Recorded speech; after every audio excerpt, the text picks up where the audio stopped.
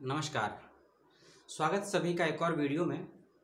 Update आया है M G A H V University Maharashtra की तरफ़ से, यानी कि महात्मा गांधी अंतर्राष्ट्रीय हिंदी विश्वविद्यालय की तरफ़ से, जहाँ डेट्स आपको पहले से ही मालूम थी पीएचडी प्रवेश परीक्षा की, लेकिन किस समय, किस विषय का पेपर होगा उसकी जानकारी नहीं थी। और पेपर ऑनलाइन होगा, ये भी आपको जानकारी थी, लेकिन पेपर किस प्रकार से देना है, ये जानकारी नहीं थी तो ये दोनों जानकारी मैं आपको दूँगा इस वीडियो में। तो वीडियो को अपनी सुविधा, समय और समझ के अनुसार आप लोग देख सकते हैं, और देखने के उपरांत मन में कुछ सवाल हो तो उसको पूछ लीजिएगा, और इस वीडियो का पार्ट एट ज़रूर देखिएगा एंट्रेंस एग्जामिनेशन की बात होगी, खासकर पेपर वन को लेकर, जो सिलेबस में नए बदलाव हुए हैं, क्या बदलाव हुआ है, उसकी बात मैं करूँगा उस नेक्स्ट वीडियो में। और साथ ही साथ है इस वीडियो के लास्ट में ये भी बताऊँगा कि आपको मॉक टेस्ट देना है या नहीं देना है, और यदि मॉक टेस्ट देते हैं तो क्या लाभ होगा और यदि आप मॉक टेस्ट नहीं देते हैं प्रवेश परीक्षा से पहले तो क्या आपको नुकसान हो सकता है इस विश्वविद्यालय की प्रवेश परीक्षा के लिए? ठीक है? तो चलते हैं शेड्यूल और हाँ जो भी जानकारी आपको दूँगा, सभी जानकारी विश्वविद्यालय की वेबसाइट पर मौजूद है। आप चाहें तो वहाँ पर जानकारियों को जाकर ध्यान से डिटेल में पढ़ भी सकते हैं। और यदि आपको समय नहीं है या आपको उचित नहीं लगता है तो इस वीडियो को देख भी सकते हैं। दोनों डिसीज़न आपको लेने हैं। दो विकल्प आपके पास है। दस, ग्यारह और बारह अक्टूबर दो हज़ार इक्कीस। दस, ग्यारह, बारह, अक्टूबर 2021 इन तीन डेट्स में होंगी पीएचडी की प्रवेश परीक्षाएँ। इस बात को ध्यान से सुन लीजिए, लिख लीजिए, कहीं रिकॉर्ड कर लीजिए। समय है सुबह साढ़े नौ बजे से लेकर सुबह ग्यारह बजे तक, यानी कि नब्बे मिनट। सुबह साढ़े नौ से लेकर साढ़े साढ़े नौ से लेकर ग्यारह बजे के बीच में तारीख है दस अक्टूबर और दिन है रविवार। इस दिन आपकी प्रवेश परीक्षा पीएचडी महात्मा गांधी अंतर्राष्ट्रीय हिंदी विश्वविद्यालय इक्कीस और बाईस के सेशन का पेपर वन होगा। क्योंकि पेपर दो होंगे पार्ट वन पार्ट टू दस अक्टूबर सुबह साढ़े नौ बजे से लेकर ग्यारह बजे के बीच में पेपर वन होगा। इस बात को ध्यान से सुन लीजिए, समझ लीजिए। सभी विषयों का पेपर एक दिन एक ही समय रखा गया है। कमेंट करके बताइएगा कि इस डिसीज़न से आपको लाभ होगा या हानि होगी बेनिफिट होगा या फिर बवंडर मचेगा। क्योंकि इस वीडियो में देखना आप लोग कमेंट करेंगे। और क्या कमेंट करेंगे कि हमने एक से ज़्यादा विषय में अप्लाई किया है, लेकिन एक समय में दो एग्ज़ाम कैसे देंगे? इसका जवाब मेरे पास तो नहीं है। हाँ डिस्क्रिप्शन बॉक्स में कुछ फ़ोन नंबर मैं दूँगा आपको। आप उनसे संपर्क ज़रूर कर सकते हैं और आपकी समस्या का समाधान वो ही व्यक्ति कर सकते हैं, जिनके भी वे नंबर है, चाहे अधिकारी हो, चाहे शिक्षक हो, या काउंसलर हो, या वॉलेंटियर हो। तो आपने सुन लिया paper one PhD entrance examination MGHP University 10 अक्टूबर को होगा। आपने जिस भी विषय में अप्लाई किया है समय है नब्बे मिनट का ठीक? अब चलते हैं पेपर सेकंड को लेकर। पेपर सेकंड 10, 11, 12 अक्टूबर को ही रखा गया है। 10 अक्टूबर की दो शिफ्ट है 11 अक्टूबर की तीन शिफ्ट है 12 अक्टूबर की तीन शिफ्ट में है। किस शिफ्ट में किस सब्जेक्ट का पेपर किस समय है ध्यान से सुन लीजिएगा समझ लीजिएगा। बिना सुने समझे कमेंट मत कर दीजिएगा, इस बात को गौर से दिमाग में डाल लीजिए, कहीं पर लिख लीजिए। 10 अक्टूबर दोपहर एक बजे से दो बजे, ढाई बजे के बीच में।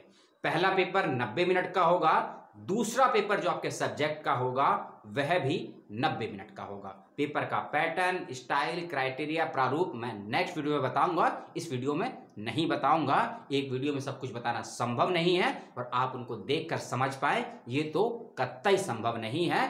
10 अक्टूबर दोपहर एक बजे से लेकर ढाई बजे के बीच में जिस सब्जेक्ट का पीएचडी का सेकंड पेपर होगा सब्जेक्ट के नाम सुन लीजिए।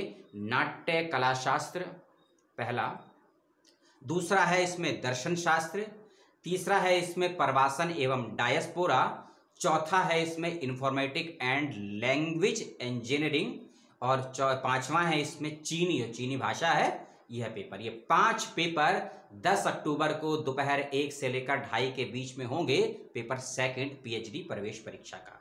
10 अक्टूबर की सेकंड शिफ्ट समय है शाम साढ़े चार बजे से लेकर शाम छह बजे तक। इस समय में चार सब्जेक्ट के पेपर लिए जाएँगे। भाषा प्रौद्योगिकी, भाषा विज्ञान, भाषा शिक्षण। भाषा प्रौद्योगिकी, भाषा विज्ञान, भाषा शिक्षण और साथ ही साथ गांधी एवं शांति अध्ययन। तो 10 अक्टूबर को इन चार और पाँच नौ सब्जेक्ट की प्रवेश परीक्षा ली जाएगी। अब चलते हैं ग्यारह अक्टूबर पहली शिफ्ट समय सुबह साढ़े नौ से लेकर ग्यारह बजे के बीच में जिस सब्जेक्ट का पेपर होगा, वह दो है।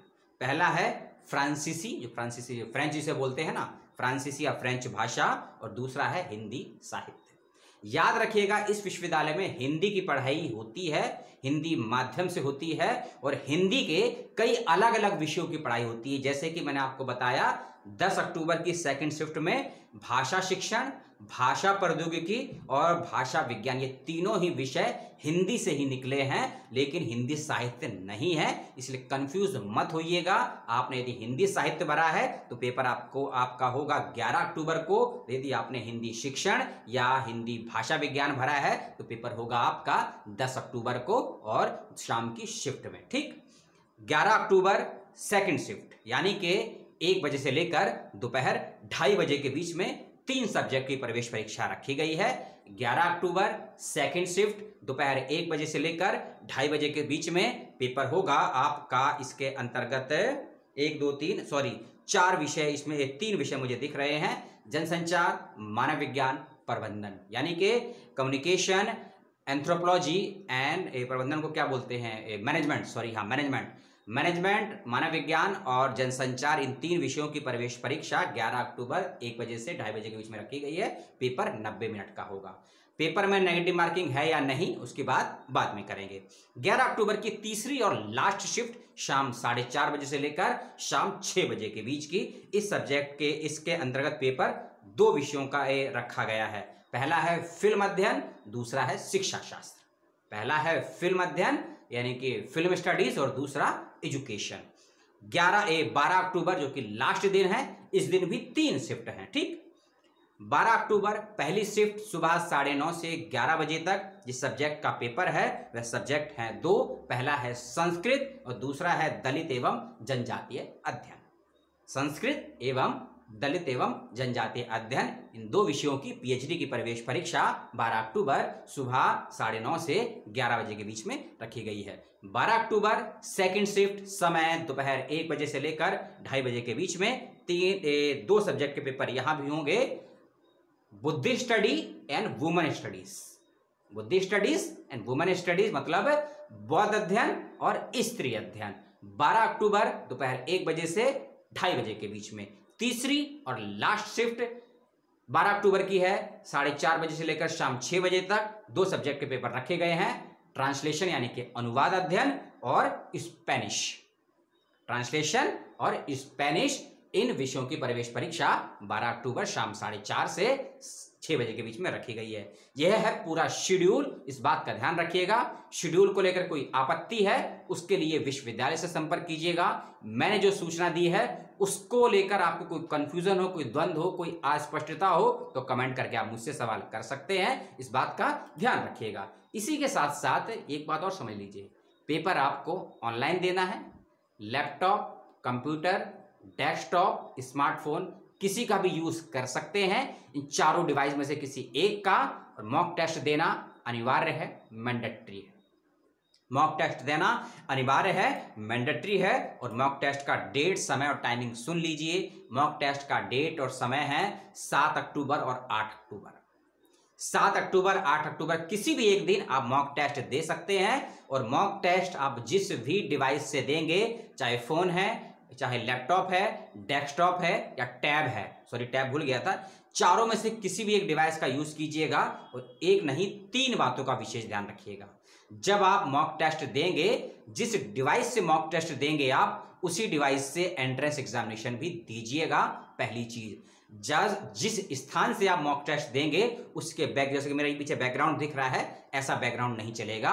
प्लेन बैकग्राउंड चलेगा और वह भी व्हाइट बैकग्राउंड चलेगा। इस बात का ध्यान रखिएगा। तीसरी चीज़, आप जिस भी डिवाइस से अपना एंट्रेंस एग्जामिनेशन देंगे, उस उनका, उसका कैमरा और उसका माइक क्लियर कट स्पष्ट होना चाहिए। यदि आपके डिवाइस का कैमरा या माइक काम नहीं करता है तो उस डिवाइस का प्रयोग मत कीजिएगा। इस बात का विशेष रूप से ध्यान रखिएगा। चौथी और बहुत ही ज़्यादा महत्वपूर्ण चीज़ कि एग्ज़ाम देते वक्त मॉक टेस्ट को छोड़ दीजिए। मेन एग्ज़ाम देते वक्त आपका यदि इंटरनेट कनेक्शन चला जाता है, आपका फ़ोन यदि हैंग होता है आपका यदि डेटा खत्म होता है या कोई भी तकनीकी समस्या होती है जिसके कारण आपको लॉगआउट होना पड़ता है या आपका एग्ज़ाम स्टॉप हो जाता है, उस कंडीशन में विश्वविद्यालय प्रशासन की कोई भी ज़िम्मेदारी नहीं है आपके डिस्कालीफाई होने पर या रिजेक्ट होने पर। यह फैसला कैसा है ये भी कमेंट करके मुझे बताइएगा। और यही थी सारी जानकारी एंट्रेंस एग्जामिनेशन के शेड्यूल की। एंट्रेंस की एक बोनस इंफॉर्मेशन दे देता हूँ। हो सकता है बहुत से बच्चे पहली बार ऑनलाइन एग्ज़ाम दे रहे हों तो उनको बहुत सी समस्याएँ आएँगी। ऑनलाइन एग्ज़ाम कैसे दें? फ़ोन से कैसे दें? लैपटॉप से कैसे दें? डेस्कटॉप से कैसे दें? टैब से कैसे दें? तो मैंने लगभग तीन या चार महीने पहले एक वीडियो बनाया था ऑनलाइन एग्ज़ाम को लेकर। पच्चीस या तीस मिनट का वीडियो है। डिटेल में बनाया था, उसको देख लीजिएगा। लिंक दे दूँगा डिस्क्रिप्शन बॉक्स में। पुराना वीडियो है और किसी भी प्रकार का एग्ज़ाम देते हैं हम ऑनलाइन माध्यम से तो आपका कैमरा आपकी कितनी हाइट पर होना चाहिए, आपका माइक कितनी हाइट पर होना चाहिए एयरफोन का यूज़ करना चाहिए, नहीं करना चाहिए एक्स्ट्रा कैमरा लगाना चाहिए फ़िल्टर लगाना चाहिए, नहीं, ये सारी जानकारी बारीकी से उसमें समझाई है, उस वीडियो को देख लीजिएगा डिस्क्रिप्शन बॉक्स में मिल जाएगा, नहीं तो मेरे चैनल पर भी विज़िट कर सकते हैं। नेक्स्ट वीडियो का वेट कीजिएगा एंट्रेंस एग्जामिनेशन की बात करूँगा, और कुछ और जानकारी मुझसे चाहिए हो तो कमेंट करके पूछ लीजिएगा, और चैनल की मेंबरशिप जल्द से जल्द ले लीजिए। जितना देरी से करेंगे चैनल की मेंबरशिप लेने में, महत्वपूर्ण वीडियो आपसे छूट जाएँगे, क्योंकि अब एक विशेष कैटेगरी वर्ग के लिए ही वीडियो बनाए जाएँगे एडमिशन के इतर, क्योंकि अब आपकी क्लासेस भी स्टार्ट होने वाली है। पढ़ाई भी स्टार्ट होने वाली अब उसकी बात करेंगे रिसर्च की बात करेंगे इंडिया के लेवल की बात करेंगे इंडिया के बाहर की भी बात करेंगे तो अब कंजेस्टेड वीडियो बनेंगे और लिमिटेड बच्चों के लिए बनेंगे। इसलिए आप भी इस प्रकार के वीडियो में चाहते हैं इंटरेस्ट और आप चाहते हैं कि जानकारी मिले तो चैनल की मेंबरशिप जल्द से जल्द लीजिए तीन प्लान है और अभी तक बारह बच्चे उसकी मेंबरशिप ले चुके हैं। दो दिन के अंतर्गत तो आप भी चाहते हैं कि आप उस प्रकार के वीडियो में शामिल हो और डायरेक्ट मुझसे कनेक्ट हो पाए तो चैनल की मेंबरशिप लीजिए। ये मेरी कोई आपसे अपील नहीं है, ना ही आवेदन है। एक बात है, मानना नहीं मानना आपका डिसीज़न है। चलता हूँ किसी और वीडियो के लिए। अब वेट कर रहे हैं और लोग भी, उनका वीडियो बनाना है। फिर नेक्स्ट वीडियो, वर्धा विश्वविद्यालय का एक और एंट्रेंस की हम उसमें बातचीत करेंगे। बहुत बहुत धन्यवाद। समय देने के लिए जय हिंद, जय भारत सब